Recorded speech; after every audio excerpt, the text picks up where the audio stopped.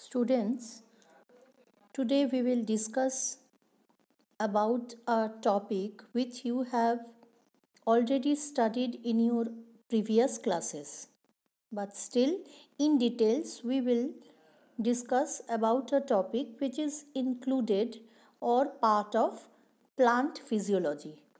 So, starting with the topic, the topic is transpiration in general term if we speak about this process this is actually the perspiration or sweating of human beings that we have or observe during hot summer days. So what happens? We sweat or we perspire and the water or the sweat in the form of vapor they goes out of our body maintaining the temperature balance and we feel a cooling effect. So transpiration is also we can say as the perspiration done by plants.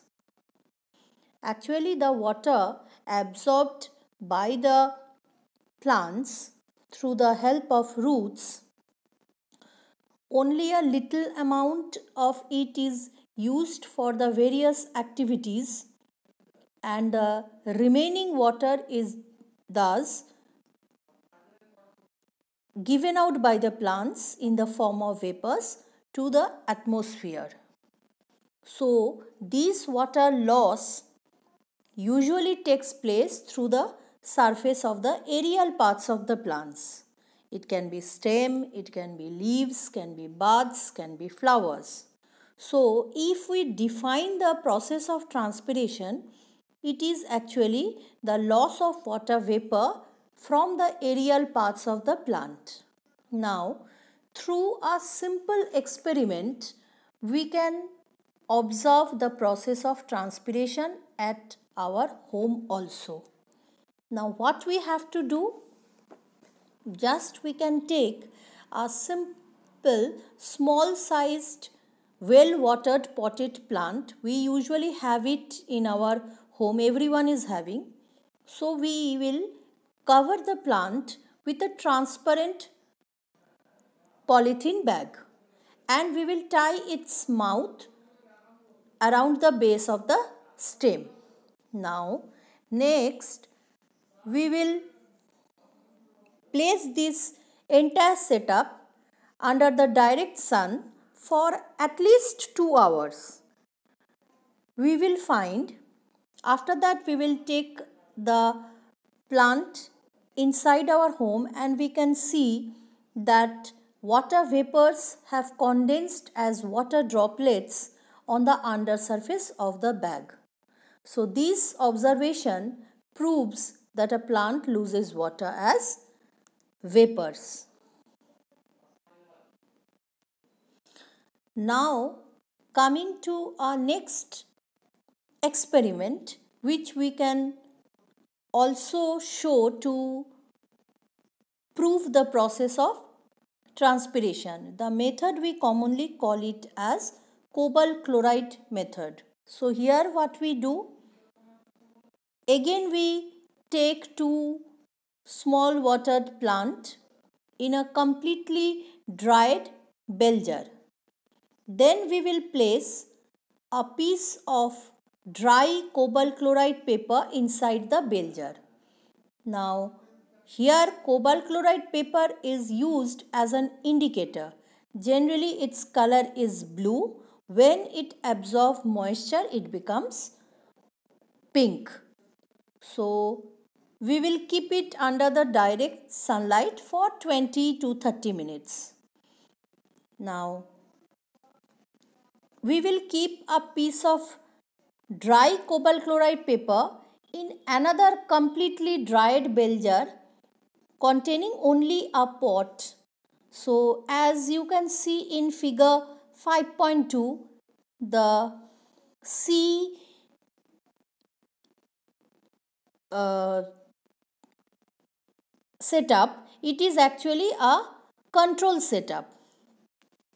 So, after 20 minutes what we will see that the cobalt chloride paper has turned pink in the bell jar containing the plant but it has remained blue in the bell jar with no plant. So the leaves of the plant it lost water as vapors which produced moisture in the bell jar. So the cobalt chloride paper here absorbed this moisture and consequently turned pink and as the moisture was not available in the setup C here the cobalt chloride paper remained blue as its original color. So through these experiments we can prove the process of transpiration. Now coming to another topic means how we can measure the process of transpiration that, that means measurement of transpiration. It can be done by weighing method. Now what we have to do here? Here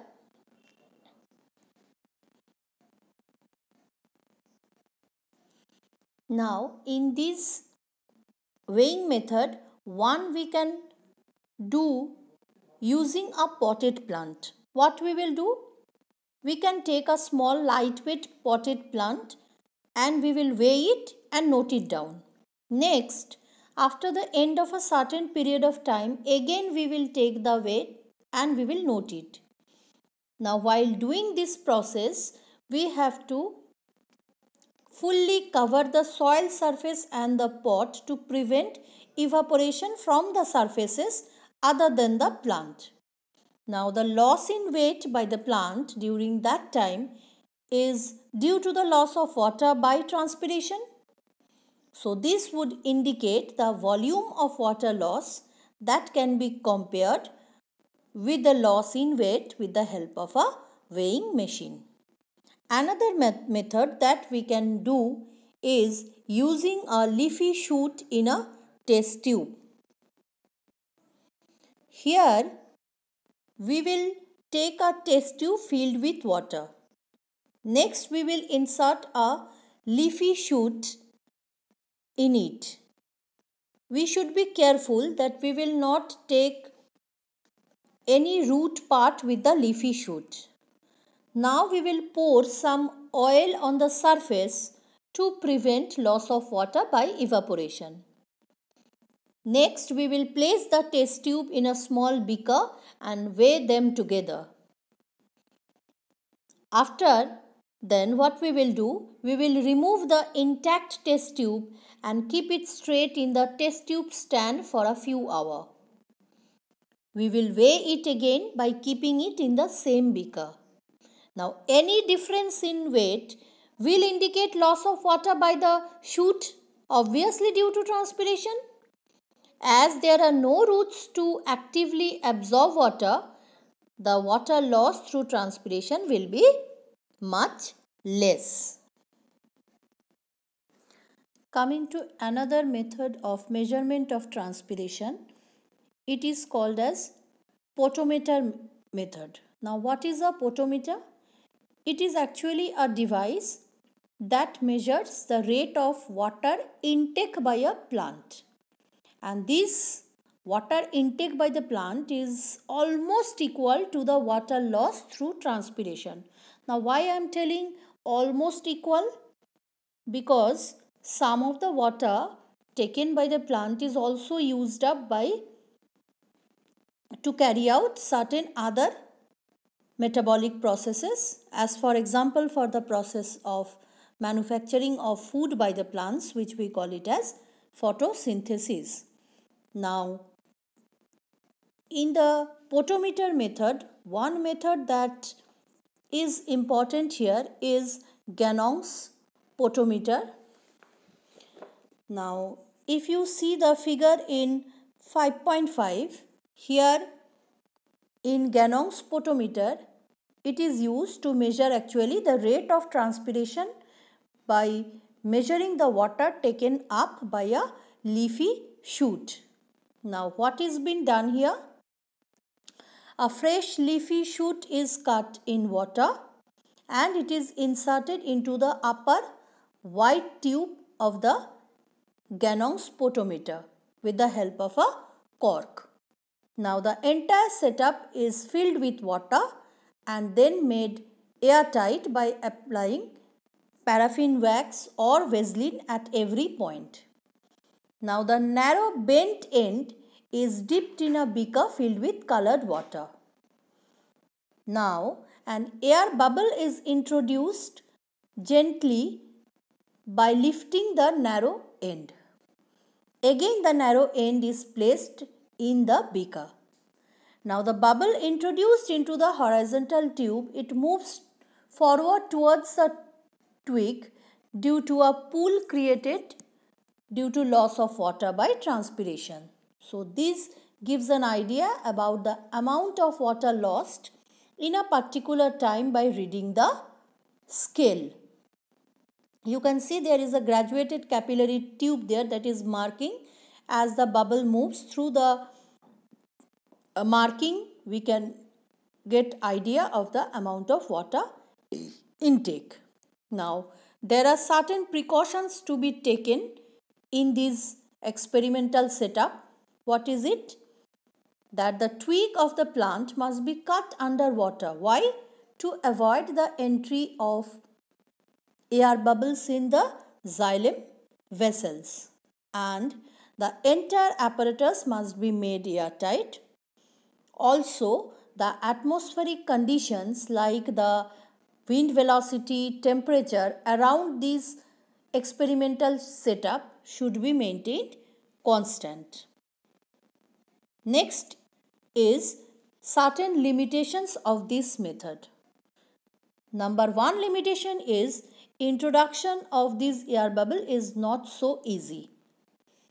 Now changing environmental conditions like temperature, humidity, wind velocity may also influence the position of the bubble and the leafy shoot may not remain alive for long to make proper observations. Now, in the next class, we will deal about the different types of transpiration.